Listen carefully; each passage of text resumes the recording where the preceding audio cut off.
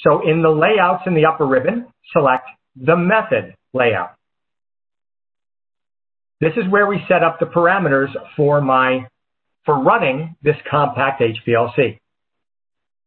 On the upper left-hand corner, just underneath where it says acquisition method dash untitled, there is a far left panel. And you'll see general and then immediately below that properties. Click on the properties.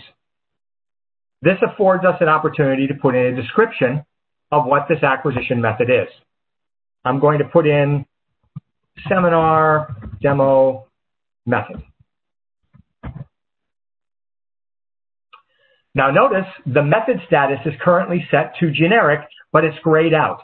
And that's because the project that we opened our HPLC from does not have that approve method tab selected. So at this point, I can use any type of method that is available, whether it's one I'm creating here or whether it was one that was created in the past and still in that methods directory. Immediately below the instrument setup, select the grad pump. For the flow, I want you to set the flow at one mil per minute. Selecting below that, there are solvents, A and B. I'm going to type in water for my first solvent in that text box immediately to the right of the A and the percent sign. But notice I can't type anything in in that text box below that where my B is. And that's because I have to enable the B channel first by selecting the little uh, check mark immediately to the right of B colon in that center panel.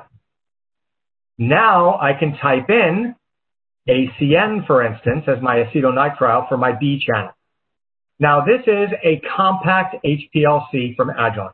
A compact HPLC from Agilent only has two channels even though it's a gradient pump. Now if this were your 1290, 1260 Infinity 2, and you had a gradient pump, all four of those channels would automatically populate or be available here for you to be able to choose the um, the information as to what the solvent is, what the composition is going to be, etc. We're going to leave the pressure limits below that exactly where they are for default. The stop time, I'm going to select the second radio button and I'm going to keep my stop time at one minute for now. And I'm not going to put in a post time at this point in time. But I do want to run a gradient run. So on the right-hand panel, I'm going to select the add button below that timetable. And that adds a new line to my timetable up above. I'm going to keep the time point at one minute and I'm going to change that percent B instead of from zero to 100. I'm going to leave the flow and the max pressure exactly the way they are. And that means that I am now creating a gradient to go from 100% water to 100% acetonitrile over the course of that one minute run. Next, go down to the sampler. My injection volume is fine at 5 microliters.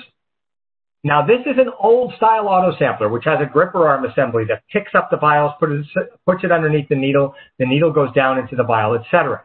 So if I were worried about something sticking to the outside of my needle, I could enable an external needle wash.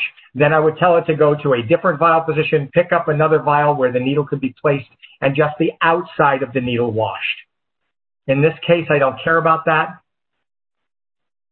I'm going to put the stop time, again, the same as the pump and no limit, and nothing with the post time. And everything under the advanced characteristics on the right-hand panel, I'm going to leave exactly the way they are. Next, on the left-hand panel, underneath the instrument setup, I'm going to select the column oven.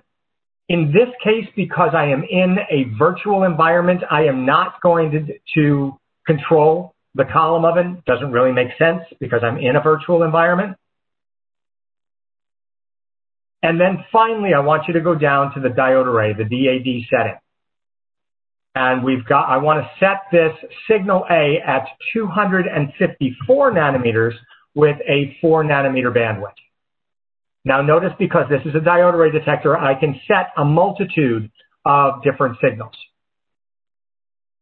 And I can also decide whether or not I want to turn on reference or not turn on reference.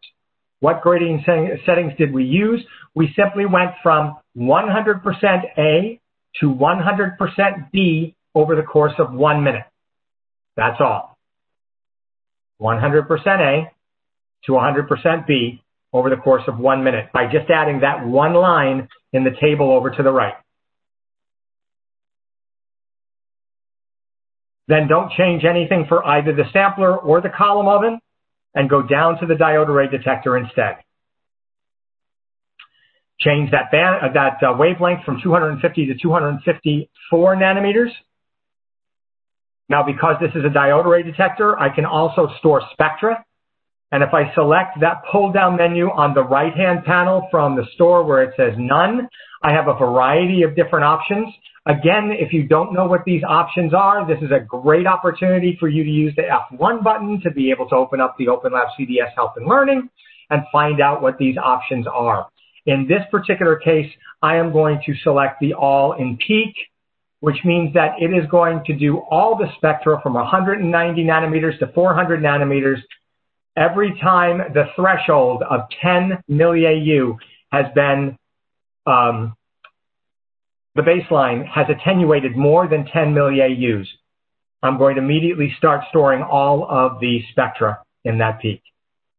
And I'm not going to change anything else in the diode array detector settings. Notice that we have now run out of options for the method. We didn't talk about anything about acquisition, about data analysis, data integration, calibration, and report generation. Again, that's because of the complete separation between the acquisition portion of the software and the data analysis portion. So instead, when we are acquiring data, the only thing that we are doing is we are defining what those acquisition conditions should be. Once the data has acquired, then we can go into the data analysis portion of the software and put in all of those things for integration, calibration, and report generation. And Rich, we did have one concern that was brought up in the chat. Sure, hit it. I am not able to add a line under grad pump because it is stuck on advanced settings. Do you have any suggestions?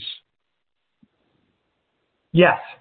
Instead of advanced settings, go down to the timetable down below. So on your advanced settings, the lower, um, the icon to the left of advanced is a lower facing filled in arrow, lower right hand facing filled in arrow.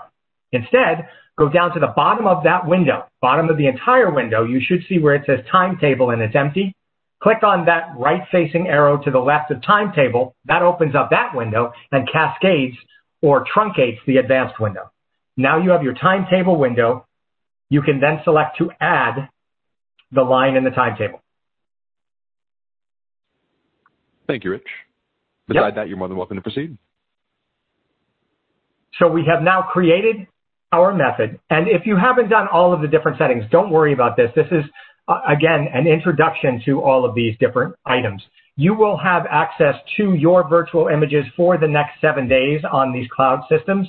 So after we're done today with this two hour introduction, you'll be able to still go back and get some much more stick time until next Tuesday to be able to run these systems and do your own type of investigation. Before we uh, move on to our single samples and sequences, I do want to save this method. So immediately below where it says acquisition method dash untitled in pretty big bold font or pretty big font, there are a series of icons. The fourth icon from the left has a graphic of what is an old-fashioned type of floppy disk with a plus to the right of it. This is to save our method as.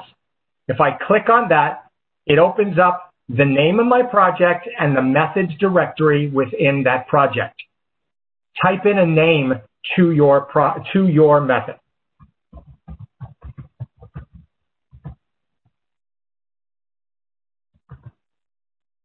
Whatever name you would like to use. And then select the Save button. And you should notice once that has happened that your new method is created and it says in the upper ribbon, acquisition method dash, the name of that method dot AMX. It is a dot .amx because this is an acquisition method within OpenLab CDS. It is not a .m method like in ChemStation or a dot .met method like in EZChrom. That means that these dot .amx methods cannot be read by their predecessor products of either ChemStation or EZChrom. That being said, you can translate both ChemStation and EZChrom methods directly into OpenLab CDS without having to retype in all of that information. Again, that is a great topic to go through the OpenLab CDS help and learning to go through and see how to be able to do that.